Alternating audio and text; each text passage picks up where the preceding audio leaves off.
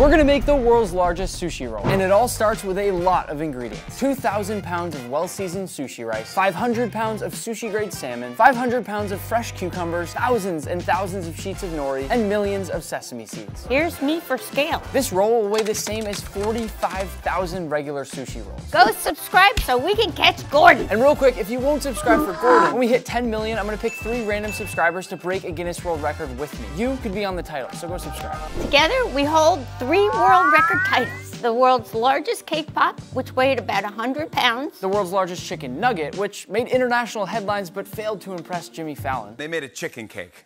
Yeah, they made chicken. And the most fast food restaurants visited in 24 hours. We visited 69. Today, we're attempting our most difficult record yet, the world's largest sushi roll. We'll be judged today by none other than Andy, who did our fast food record with us. And we also have Dennis, a health inspector who's gonna make sure we follow those strict Guinness food safety protocols. Before we begin, there are a few safety rules from Guinness. The record is for the largest sushi roll slice in terms of diameter at the widest point. The sushi roll slice must be roughly circular, and the roll must include cold vinegar dressed rice, nori seaweed sheets, and at least two different fillings. Now it's time to break another record. And to begin, we already have all our ingredients laid out, but there's just one problem. We have lots and lots of salmon, and these babies aren't gonna fillet themselves. And that's why we're gonna warm up for today's record with another record attempt. The fastest time to fillet a 10 pound fish. And here's the best part. Guess who the current record holder is? That Gordon. None other than the king of all food himself, Gordon Ramsay. Gordon, you better watch out. Nick knows how to fillet a fing fish. You rarely see people attempt two records in one day. Full movement. The current record to beat is indeed set by Gordon Ramsay at one minute and five seconds. Good luck.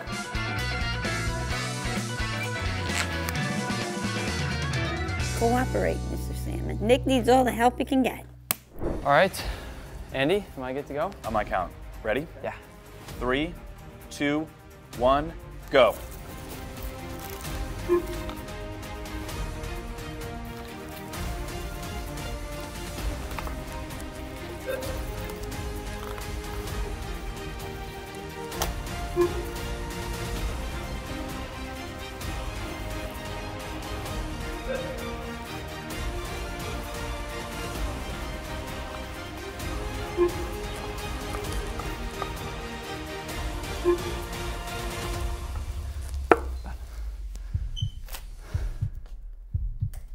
One minute, exactly.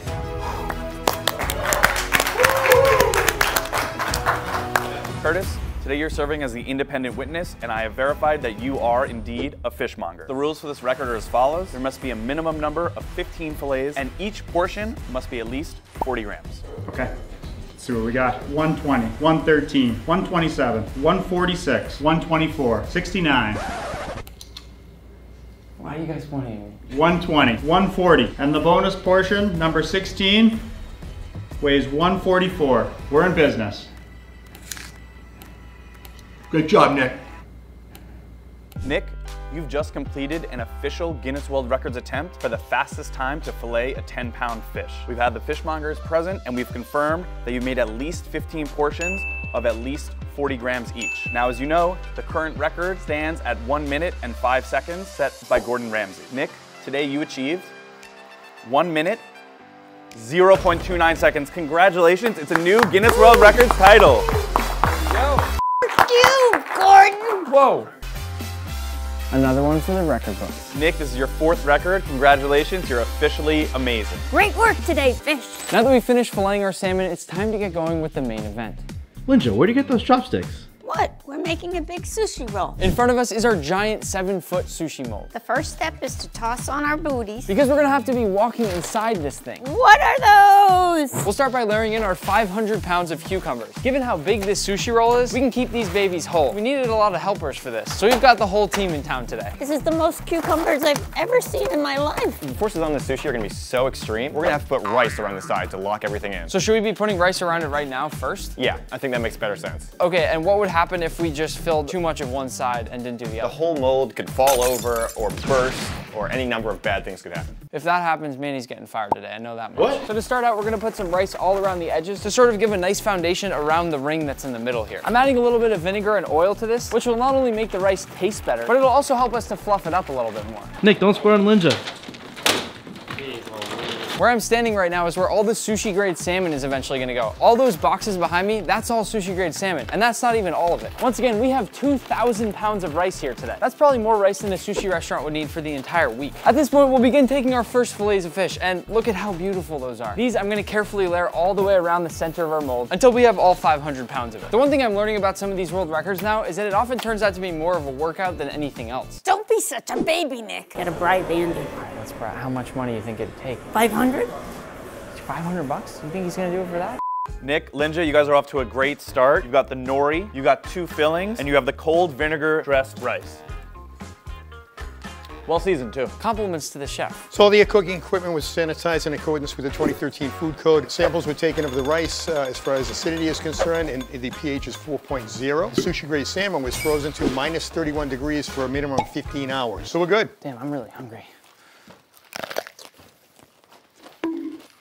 As you can see, our sushi roll here is starting to take fantastic shape. The whole first layer is all set. We've got our rice, our nori, our cucumbers, our salmon, and we're continuing to season all the rice and fluff it up so that we can make sure it's nice and light, the same way you'd have in a normal sushi roll. You gotta massage that rice. Andy, this is looking pretty cool. What are some of the coolest food records you've ever judged? Well, of course, this one and the most fast food restaurants visited in 24 hours. Naturally. Are some of my favorites. I've also seen the longest charcuterie board and the longest marathon cooking. How long was it? I believe he cooked for 48 straight hours. Oh my God. Keep in mind that if you subscribe, I'm going to choose three random subscribers when we hit 10 million, and you'll be a part of that video and be on the next Guinness World Record title. And we'll fly you in from anywhere in the world. I want three of you to break a Guinness World Record with me.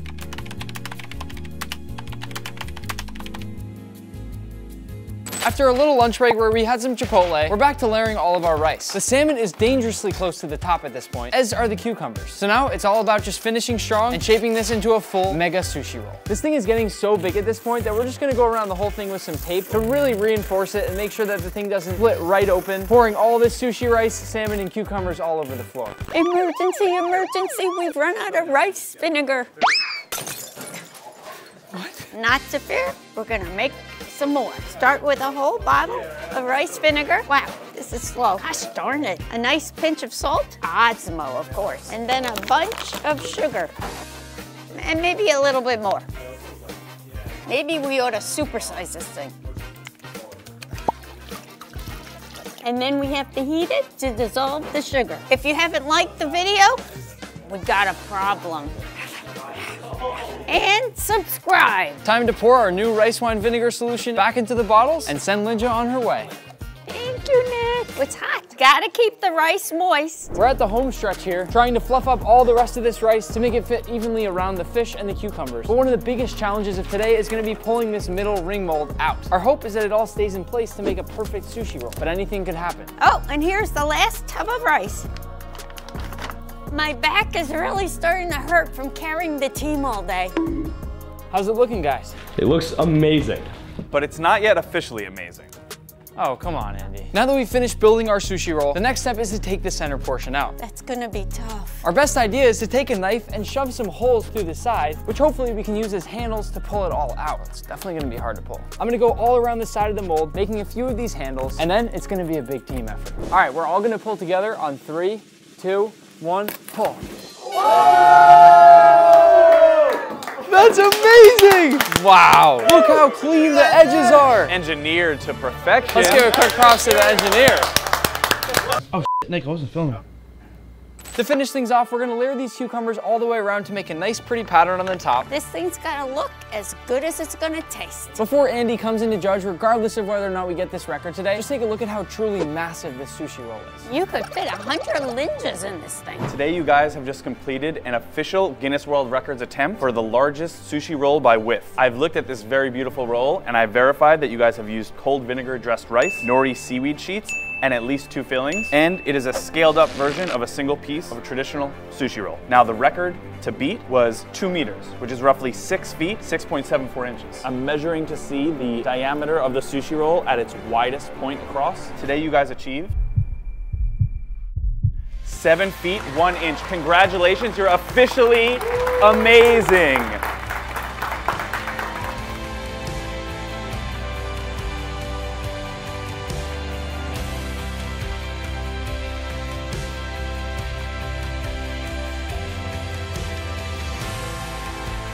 Lynja, Nick, this is your fourth and fifth Guinness World Records titles, and I cannot wait to see what records you break next. One more time, don't forget to subscribe. Three of you could be on this record title next.